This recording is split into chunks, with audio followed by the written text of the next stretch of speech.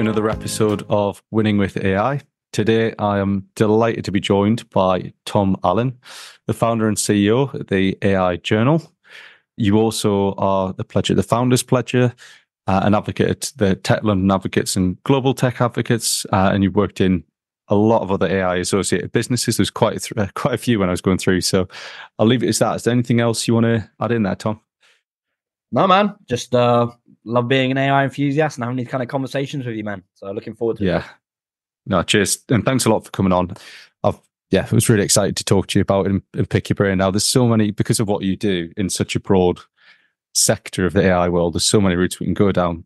Like I said earlier, there's a few things keen to ask you, but the first one is something that I've asked like everyone who comes on the, the podcast, which is mm. quite a simple question, but it's how do you use AI in life, so just day to day, uh, in, in business as well to help you succeed, I guess. Yeah, I like that. It's good, very practical. So, I mean, everyone uses AI as far as I'm aware. Like, if you're using your phone or using uh, Siri, I mean, that's a form of AI and learning what you're doing. But I mean, we use it for like content creation very openly. We don't use it to to to publish anything, but I'm always mm-hmm. using it for ideas, for getting over writer's block, and for maybe giving me a thread of information to go do further research on. And I think it's it's it's really important to look at it that way. But from a business perspective, we're using a lot very transparently with automation at the moment. So using Power Automate and using a lot of different tools to understand what is it in our processes we don't need to be doing. And like, there's one that I really like, Fireflies AI, which you record meetings and it sends you a transcript and it sends you something. That's something I'm I'm using at the moment.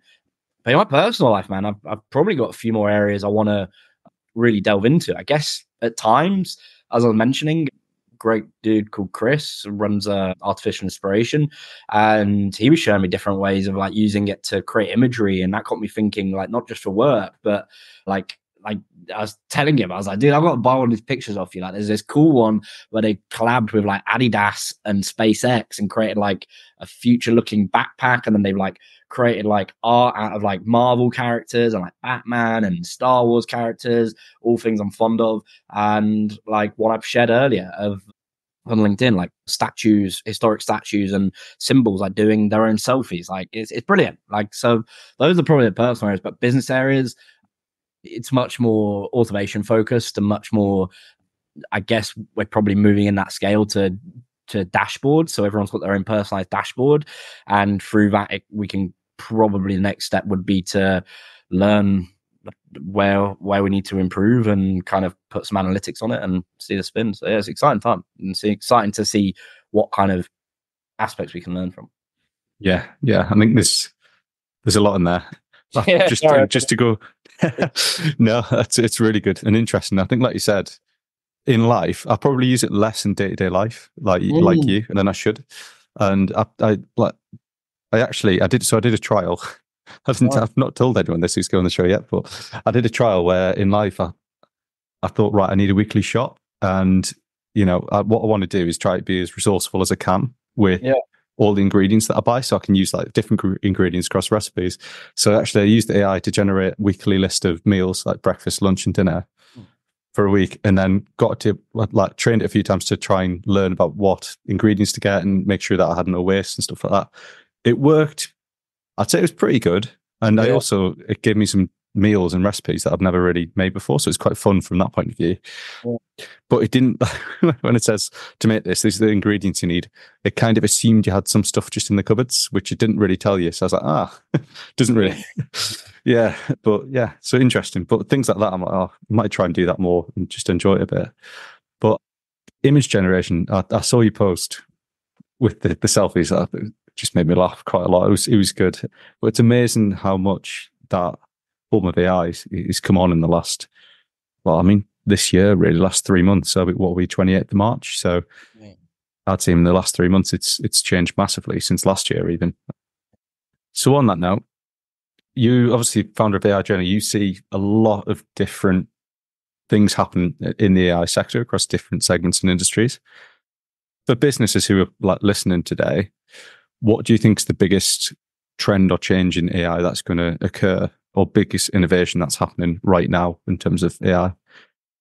Yes. I'm so the biggest trend I'm seeing is that people are starting to implement similar to yourself, like with imagery, or content creation, or actually using it and actually getting prompted to use it a bit more. And I think that's going to, especially if Apple do this release, which it looks like they're going to do at their next conference in June to integrate AI, I think through maybe Google, through Gemini, which seems to be the way. But to the trend that businesses are using, I think people are just generally applying it a bit more and trying to really suss out and put it into their spending plans, into their into their whether that's financial year budgets or or department budgets, depending on the size of the company. And a lot of startups are just using it much quicker pace because the tools are out there. I mean, you can use Rundown AI. It's a brilliant newsletter. I think they've got like half a million subscribers and it's free. And then if you go on their website on Rundown AI, they've got a the guy on LinkedIn is always publishing really cool stuff as well. And I think he's they've got like a library dashboard of all these different tools you can use. So I think there's a lot of education around what's being used and what the use cases are. And I think you're seeing it from like CRMs, like Salesforce have done a big push with like Einstein and at their conferences to show how it can be put into your workflows or follow ups or whatever it might be. And uh, you're seeing it with like Optimizely. I saw a lot that they're doing with all these different kind of areas. And I think it's going to be just a it's a real implementation time. And I think there's going to be a lot of lessons. Last year was kind of like, oh, this is kind of cool, but we haven't properly assessed for it. And I think it might change again when the whole EU AI Act gets confirmed. I don't know. Like, it doesn't seem to be getting as many eyeballs as it probably should be because someone was explaining to me how it's more of a global act. Because if any data that's passing through a data center in Europe and it's abiding by those laws, they're going to have to. I don't know the ins and outs. I don't want to give any misinformation, but there's something there that's going to impact the trend for the rest of tw- for the next 12 18 months i think josh because it's but yeah I, I, just there's a lot of companies implementing at the moment and a lot of mm-hmm. people wondering where to go to get that information and i mean personally i just think go go take the time to learn about it. Like it's not hidden information. Like you can find stuff out about it and just really probably need to schedule it into your work day, whether that's an eight till nine o'clock reading session or it's a review of, I don't know, however you're structuring it in your business. Yeah. Yeah. Think that aspect. You can't just hire someone expecting to know about it because it really is a hands on learning thing at the moment. And I think the companies that are trialing it and doing very small scale implementations in test environments are going to are going to see a lot of success because you can do things they all sound very complicated and big projects. Like you can start with a very simple automation, just sending an email to a certain folder and then getting a weekly summary of that email. Like it doesn't have to be big, big scale, but you can learn from like a grassroots yes. or build people their own dashboards so they can understand like what those numbers are specific to them. So it's, but yeah, the year of implementation, I think this is. That's, that's a good one. That's interesting. I think the t- the testing point that you made, I think that's massive, and education yeah. as well. So I'll start on the education one because I think education in terms of understanding what's happening with AI in the world, I think it's going to be really important, and I'd say probably more important to also like keeping yourself educated because it's moving so quickly. And you know, we talked about like what GPT three was like the start of last year, and yeah. now we're on four, and the mm-hmm. differences in capability of five yeah. six in the next few yeah. weeks. And you've got multimodal coming in, and so it's going to be it's going to be a shift. And just the leaders going to have to stay educated in terms of where to go. Obviously, you release a lot of reports and information as well. But where do you think? How do you think people are, can educate themselves best? Because I think there's no free resource out there or, or information out there that they can digest. Yeah, so I, I always like. I mean, look, I got into this because I didn't under. I just saw this when I was working at an engineering company, and I just thought, shit, this is going to be massive. Like you can just see the kind of implementation, and I saw like machine vision being used at like a Hermes depot and like uh, I didn't see it in person, but we had like a use case which I saw from afar. So I saw it through videos and when the engineers came back. And one was through biscuits, like seeing Staubli robots just package goods. Another one was filling Coca-Cola bottles and beer bottles. So like doing dozens of bottles within seconds and then palletizing them and just racking them up. And it was using a lot of like not basic, like it's all complicated stuff, but like computer vision and like predictive analytics. So like mainly focusing on like and how to do yeah. like very machine focused and like how to use robots and like we use things for for car doors and how to use 3D printing to, to it was really innovative actually for quite a for an SME manufacturing company. But uh, where I'm going with it is like I just read a lot, man. Like and like even now. So this here, this is one of the books I want to get through. So Bernard Marr's new generative AI this. I got this the other day and got sent it by Wiley, thanks to Wiley, and got sent this to like look through. And I mean, I got another dozen more, and then God knows how many on my Kindle.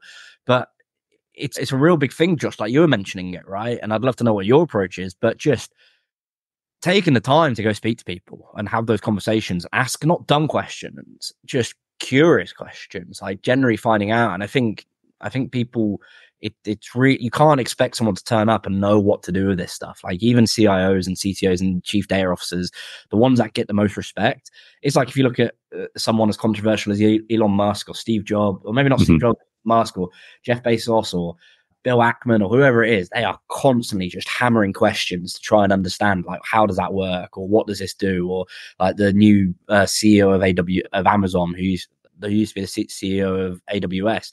And they're just constantly curious. And I think anyone can have that skill. Go read, go watch YouTube videos. There's plenty of videos on there. Yeah. And just strike up conversations with people. Like generally just just find someone of interest. And like I'm reading at the moment, Masters of Scale by Reid Hoffman. The amount of name dropping he does in there. So I just go onto LinkedIn, start connecting with him. And I think like chances and probability and just strike up a conversation. Like you don't know where it'll lead to. Like it's um yeah, it's a lot you can do, man.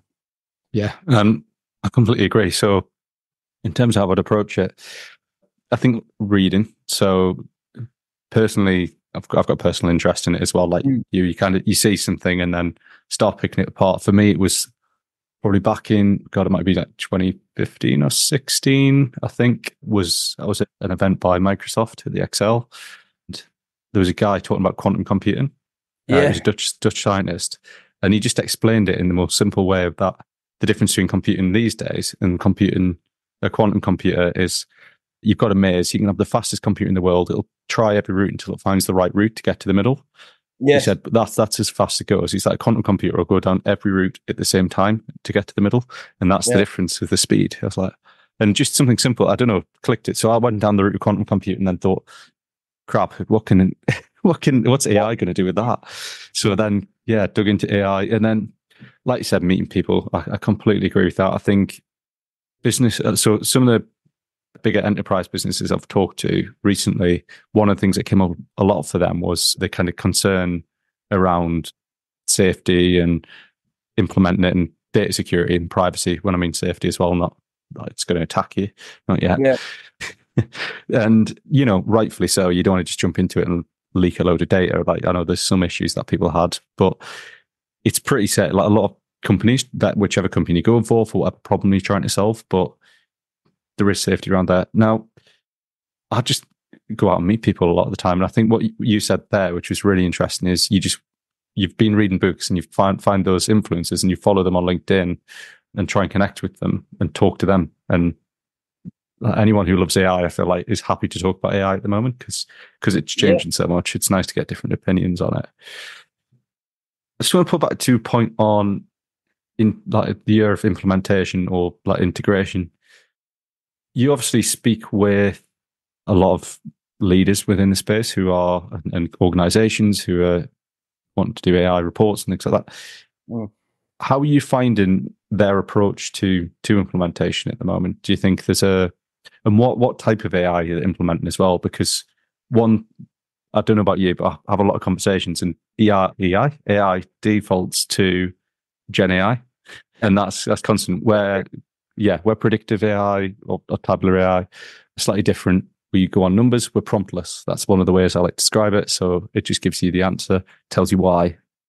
Generative AI is different. What are you finding the kind of market's like at the moment? Yeah, it's I want to say something quickly to your great point as well about making things clear, and it's relative to your AI and Gen AI point as well. Like you know Brian Cox. Uh, yeah, love him. really, he's not necessarily. I went to go see him live. So awesome. Um, was, like, yeah, he was at an event recently. Actually, yeah. Have you seen him live? I was ill. That's the oh, one I was ill for. I know. It's the. So he was at an event. Yeah, showed up live at the event, had the ticket ready to go tonsillitis, just absolutely died. So yeah, I'm still good about that. It was only a few weeks ago. So oh, man. I know. But it's um he's really good live. But quickly to your point, he explains like quantum computing, not quantum computing, like quantum theory. I think there's a video of it, and I think, and he does like big questions, answer. He does these shorts where he answers them very quickly. And like to me, it's just amazing how he can break down such a complex theory very quickly. And I feel, to your point, that's what we need to be doing for customers and for businesses in this world because there is a lot of noise when I don't think it needs to be as complicated as it is. Now, to your second point, I'd love to know where you're thinking with this as well, man. But it's, I think the companies that are very forward and say, like, look, we don't know, we can't there's not a one box solution for you. And I think that's really important in today's world. And I think people that are going, it's like, I always say the thing, like if you're sat at a pub and you've got two people to pick from, or wherever you are, like I just use a pub as an example, and you're having a pint with them, and the person, one person is relaying with you, asking you questions, is curious about certain things, and you're curious about what they know, or you've got someone that just knows everything and is me, me, me, me, me, talks about everything. I know which one I'm going to pick to spend more time with, the one that's more curious. And I think it's very important that, businesses take that kind of approach. I think the ones that are succeeding and the ones that are generally taking that curious approach and saying, like, look, we don't know the ins and outs either, but we do know how a platform or how a solution can help you. And we really want to uh, be on a kind of, I don't know, not grassroots level, but a kind of uh, experience with you to understand. I don't know what the right word is journey, experience, path, whatever you might call it, to understand yeah. what they're doing. But it's, and I think you you get to you get a much faster build or implementation that way that works for what you specifically need. There's going to be businesses out there like I can't ever see a business replacing a hamburger. Like I'm always going to want to stop by McDonald's and get a Big Mac or a double quarter pound or six, like 20 chicken nuggets, whatever it might be.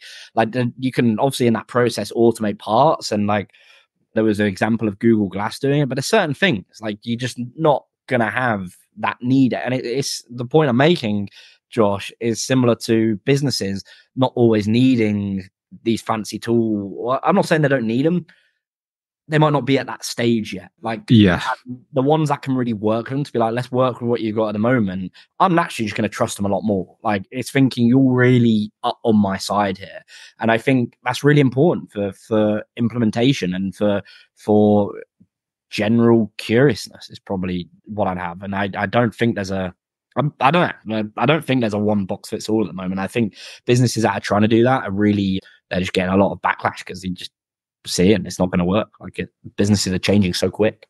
Yeah, no, yeah, I completely agree with that. I think the, I think there was a period of consolidation of a lot of SaaS companies, and I think we're probably seeing the same in the AI to a degree as well, where yeah, some companies are starting to purchase more. The problem, yeah, I think there's, there's a problem you get there, which you, you touched upon, which is actually becomes so big. So here's the solution for a start. Either it's way too expensive because yeah. well you can buy the basic version but actually what you want to do is in this chunk of it where you've got to buy the elite pro plus version which is you know absolute fortune yeah and it gets really complex and actually you then can't really speak to a, a real person you might have yeah. people who talk to you and, and kind of look after you but the reality is they're probably just trying to want to upsell it's it's interesting because two of our customers who we've worked with the longest we went in and we're obviously you know, smaller business than large enterprise and things like that. But we kind of sat with them and took them on a journey, an AI journey, which has been helpful for us from a learning point of view. So an education as a business and what we need to do. And actually it's helped develop our, our product roadmap to test things and benefit. They get the benefit of the new features and things. We get the benefit of trying it out with them. So it's become almost like a, a true partnership. And I think that's where we have the most success because we've also mm. got things like like in prediction a prediction engine where you can put any data into it and it'll predict out the other side. It'll see any trends and it'll, it'll give you answers out the back of it. And using that, it's been really interesting to see what some customers have done with that. And but you wouldn't normally go out and purchase that if you know what I mean. So it's about that partnership and build a relationship up with them. One one other thing, slightly separate to I think the AI journal, probably relevant as well, but I noticed that you do some work with the Founders Pledge as well, and also the Tech London Advocates as well. What kind of motivated you to do join that side of things as well? Yeah, well, I don't do much with them. Uh, the founders pledge is kind of just what we do with our it's a scheme we're trying to build. I don't know whether the one one one model, similar to Salesforce's model, is something we're going to follow, uh, which is a great model. It's like one percent of employees' time, one percent of equity, and one percent of profits go towards like charitable and not for profit and good causes, so, however you word it.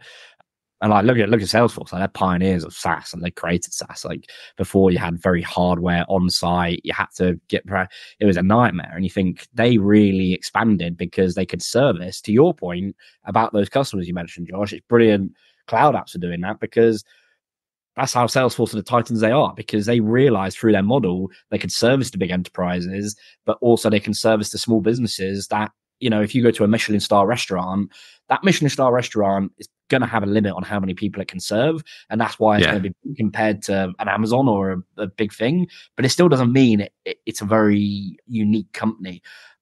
But yeah, I, I, think that's the important point. I keep making great points, but uh, it's it's just the way of thinking. I like my goal with this is to really just inform people, I guess, like to to help people, and that's what I kind of want to do and build. And I mean, I don't know if I'll have this company forever. I don't really see having it, but it's the key thing when I was going into it was literally just as a blog while I was doing it in the background was just thinking like how to how to help people, like how to, and I'll always do more of that stuff. Like uh, there was one with like Microsoft for startups or something.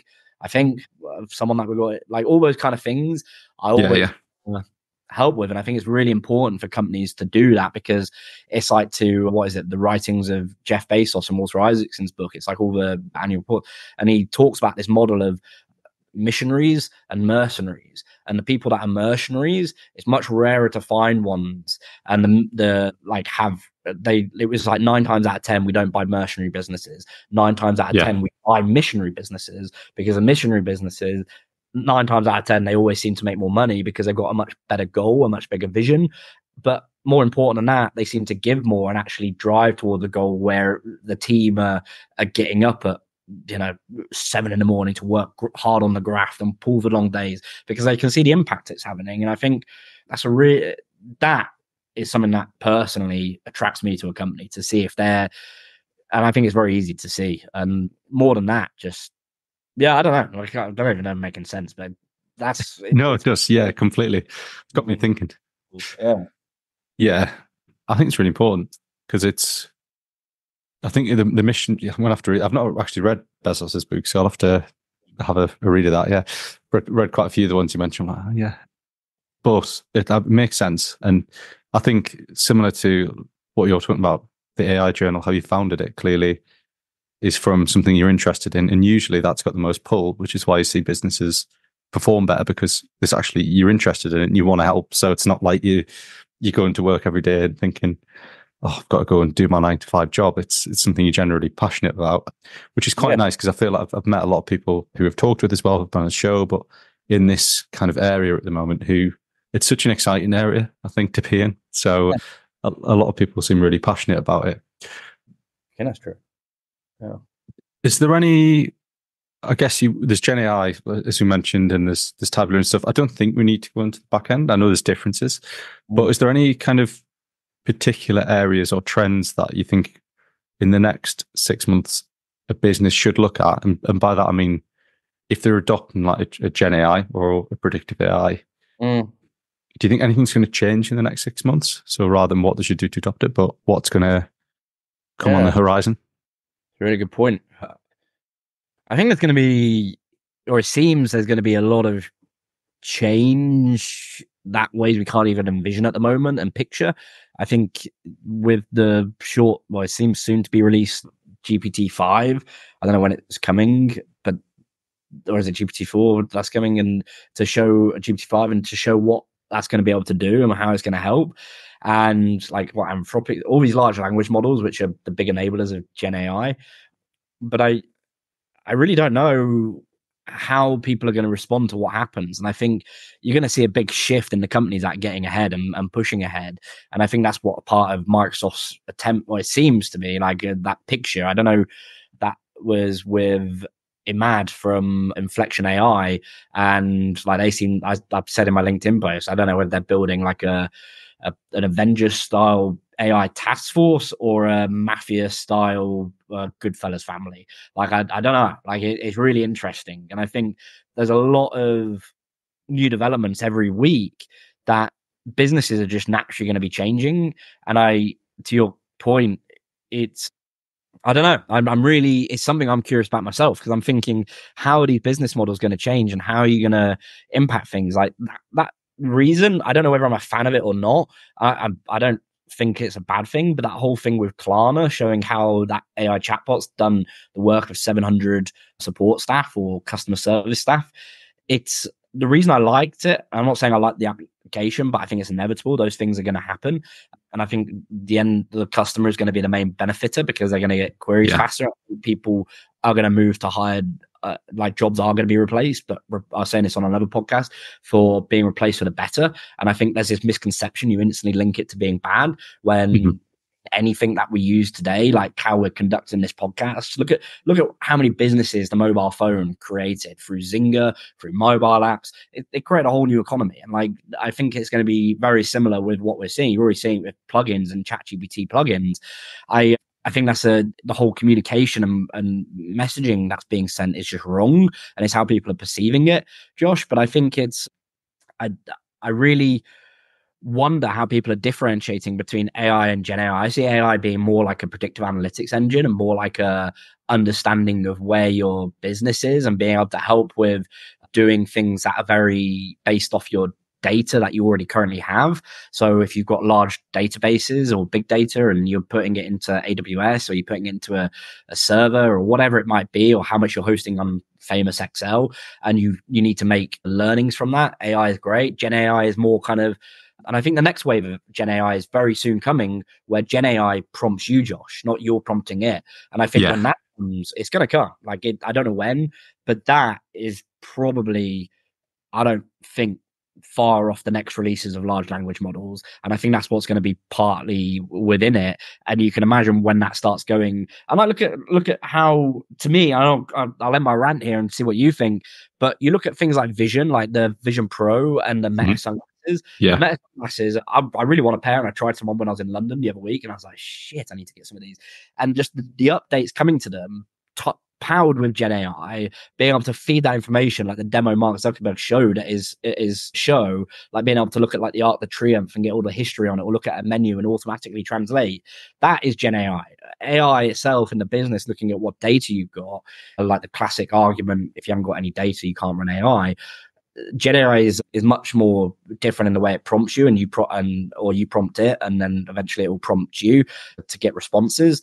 I think those kind of things I honestly think Meta is really getting ahead of the ball because they've come out with something that already has adoption, right? Like I'm already very familiar yeah. with Ray Bans, and it, it it's incredible, like what that's going to do for for so that for businesses in six months, especially in retail and and like direct to consumer, it's going to be a game changer. If I've got my Meta sunglasses, yeah. I can look at a room and say that's where a chair's going to go, that's where a sofa is going to go, that's where my TV is going to go from IKEA. And I'm just looking through here and I've got it connected through some smart ring. I was saying this as well. I reckon smart rings and phones and watches, yeah, I, you're not going to need a mobile. I, I generally, I mean, you will.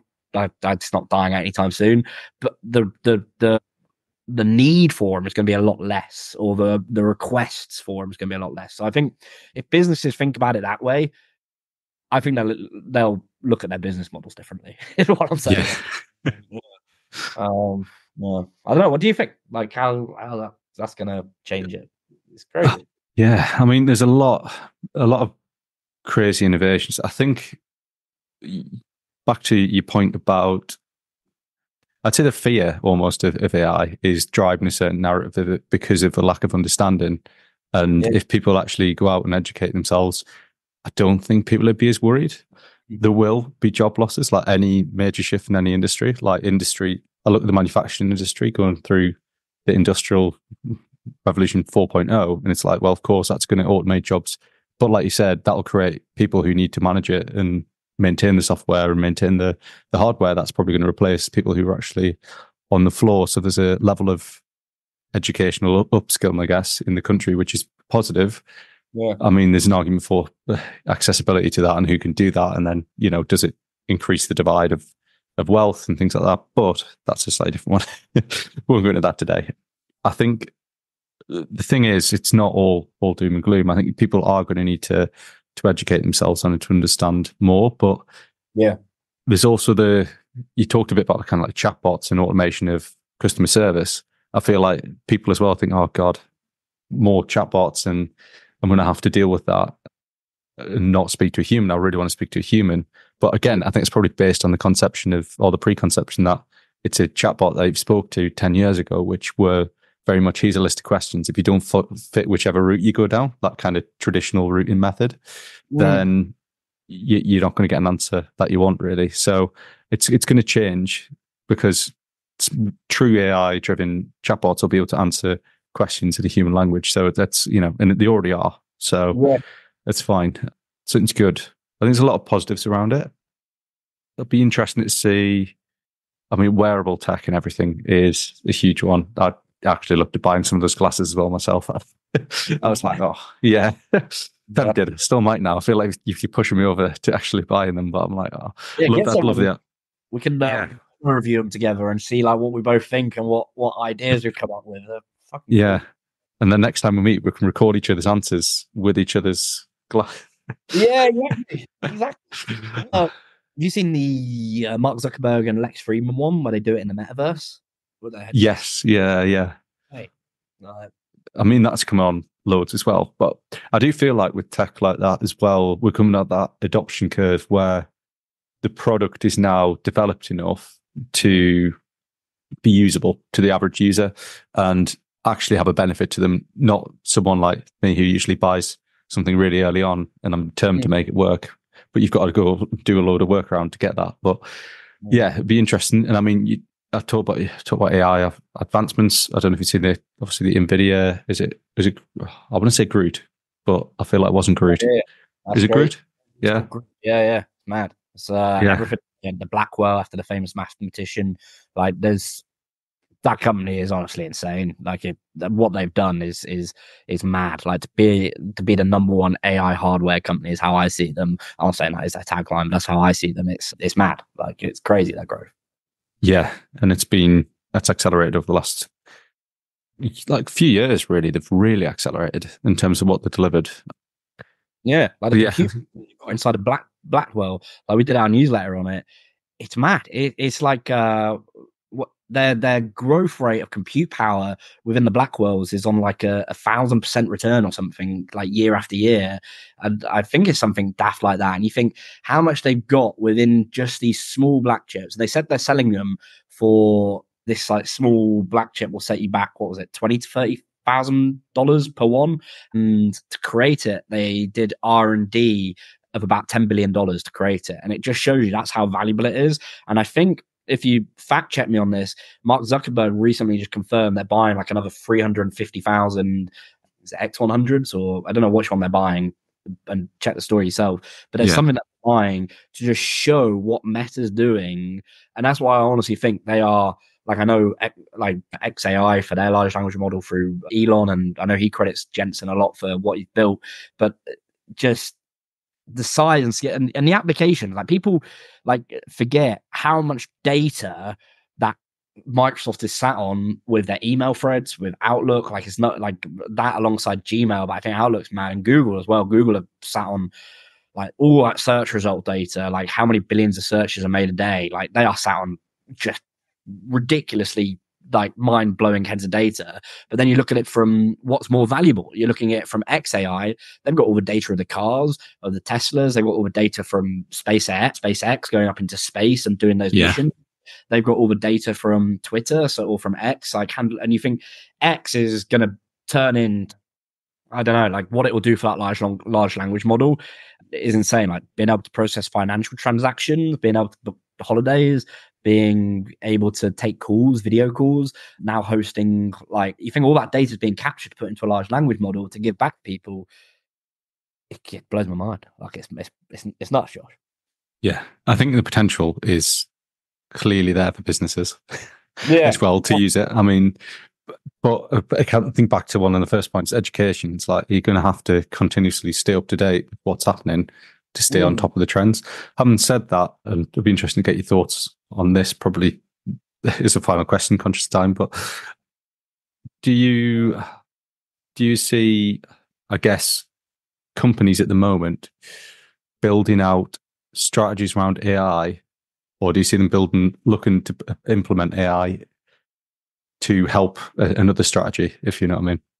So is this standalone AI strategy building? Because so that I'll give you a bit of context. The reason I brought it up is I've had a lot of conversations in full transparency. I've been pushing like actually what you need to do is look at the purpose of your business, how you're you going to grow, yeah, how are you going to work, mm. and then look at how AI can help that and like map certain processes out.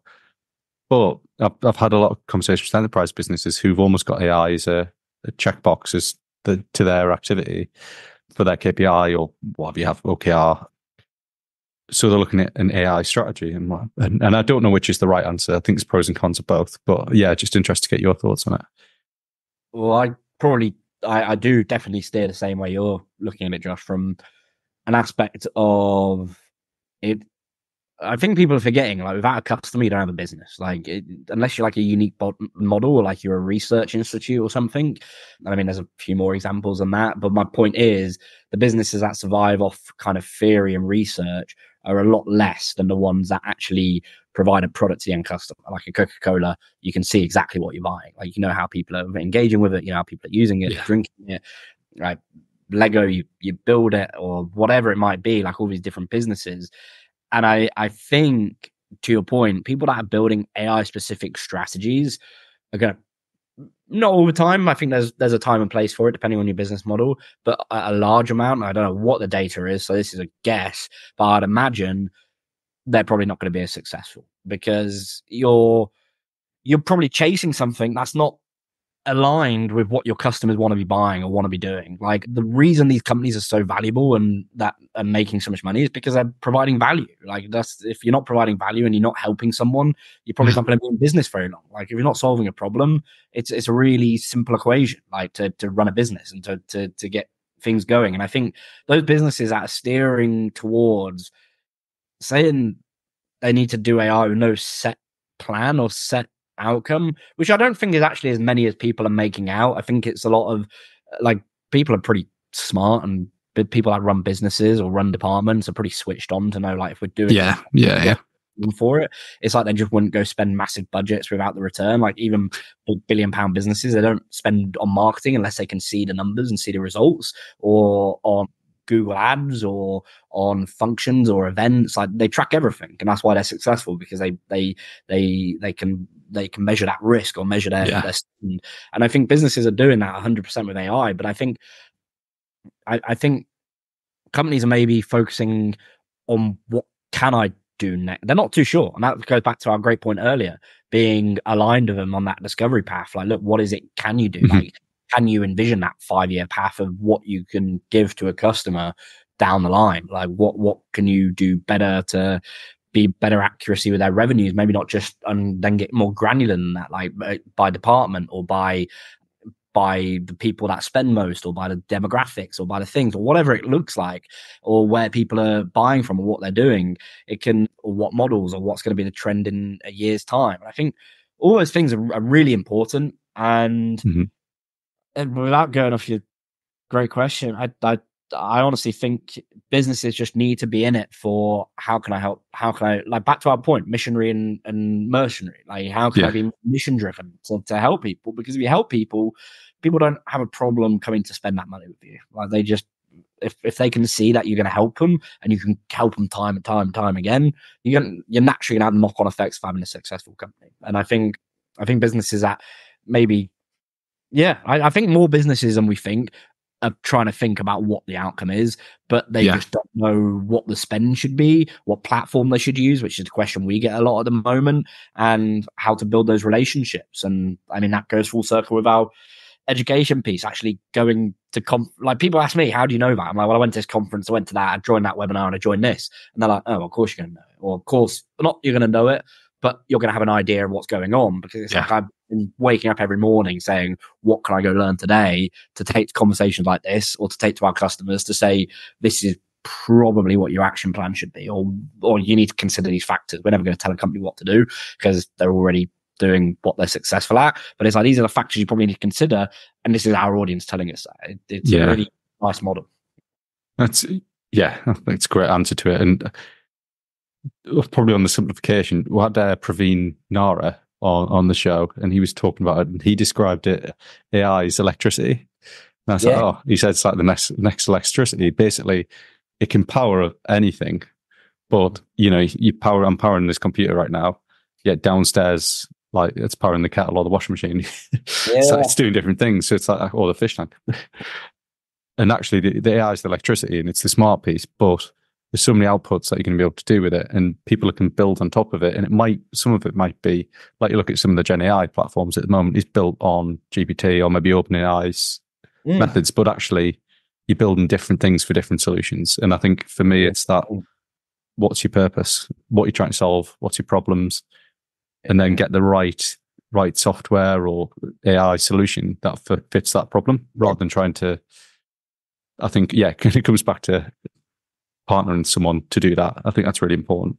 Yeah, yeah. it is. It's a, it's a really important point, and that's why I saw like how consultancies and like management consultants are, are, are struggling. Like I don't know, not. I mean, that's a headline. I don't know if they are actually struggling. I mean, they're very robust businesses, but that people are starting to maybe look at like where am I going with this? Like ways to properly use certain technologies, and where you've got someone telling you, you need to strip out your middle management when really this might not be what you need to do. And I think there's a lot more opportunities to learn where you can use this to not necessarily. And I think there was a study, and I, I want to look this up, but there's a study which shows like people that often reduce headcount and reduce workforce end up losing in the long run. Now, I get it at times that people need to make layoffs and yeah. because of a market demand or whatever. But it's it's something like uh, like Apple were really they were like one of the last ones to let people go, I think. And it wasn't until their car development, or maybe just slightly before that, but they were one of the ones like when all those tech companies were making layoffs at what beginning of 2023 was it, or 20, yeah, yeah. Uh, end of 2022 because the demand from COVID had started recovering and people going to or whatever the factors were. And I think like it, it, shows how they were very smart in hiring and it's not necessarily saying you don't need to hire me but you need to understand like how to get the maximum use out of your not use like the maximum I don't know the word creativity or or actions or like efficiency, whatever word you want to use. Yeah. Uh, but I mean, there's loads of topics that that uh, to your point earlier, to your trend earlier, Josh. Like it, it scares the living hell out of me with with like what's going to happen with data centers and compute power because there's not there's not enough. Like it, it it's really worrying. Like you think like what happens when we can't produce enough electricity to keep things going, and like what happens when you shut off electricity. And you saw it with like Houston, I think at the end of 2022, I think in Houston, where they had like a massive freeze over the pipes and the, the cities shut down because they weren't used to it. And it was like, this is going to cause all sorts of damage. It's like people say, global freezing is much more dangerous than global warming because freezing is literally an ice age. Like I don't know how accurate that is, but you can understand the reason, the rationale for the argument. Yeah, yeah. It, it honestly, computing power and data centers and the amount they consume, that's what not AI scares me. That scares me because you just think those are like a different beast, and without them, we're not going to be having these sort of conversations or being able to do what we do on our computers. Like it's a, it's a mad conversation, quite a daunting one as well. But I mean, yeah. Yeah. I mean, hopefully we'll have like a super AGI, which will just be able to solve that for us by then. So, uh, yeah. but then we won't be able to power it. Exactly. Exactly. It's, uh, yeah. It's a, it's a wild world, man. Like, I, it's, it, I love it. I love it. It's so much fun. It is. And it's constantly changing. And I think some people like that, some people don't. I think obviously you, you that's why you're in it. but yeah, it's really interesting. Uh, just I think before we wrap up, obviously people should go check out the AI journal. Do you want to give people a bit of advice if they haven't heard of it? I mean, I know a lot of people who do, and a lot of people who follow, follow me on LinkedIn or connected with on LinkedIn do. So, but I think you know, let them know about because it it's a really good. I'm not being biased here, but it's a really good uh, place to go find out your information on on everything everything AI. Josh, yeah. Visit us AI journal, man. It's, it's a great story that we got and a great or a great story we're creating for people to really to evangelize people to get involved in the conversations and to really have that curiosity because it really pisses me off when people don't want to let other people into the conversation. And I think this is a conversation everyone should be having, like regardless of your level of expertise.